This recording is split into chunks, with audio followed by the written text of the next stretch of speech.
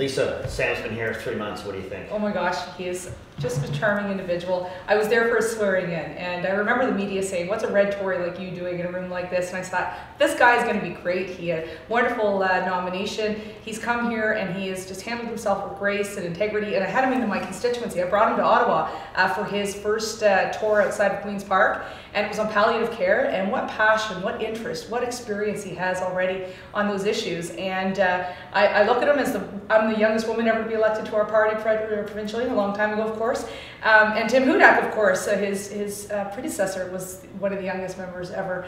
And so it's really kind of a neat thing that he's following that tradition. So I hope to see him back. What about you? Yeah, look, I know there's a lot of Sam fans in my riding, and I'll tell you, I uh, don't get typically involved in nominations, but I uh, insisted on uh, you know doing this for Sam today because I'll tell you, uh, I see people that have been here at Queens Park for years or decades, and nobody has handled a the media when he came in the way that he did, true professional. But the energy, the enthusiasm. Look, you and I both know this is a 24/7 job, uh, and it requires a lot of work, and you have to want to be here. And I'll tell you, that guy does. Uh, most importantly, for the constituents that he represents, bringing forward issues that matter to them here to Queen's Park. And so that's why we need Sam back. Oh, definitely need Sam back.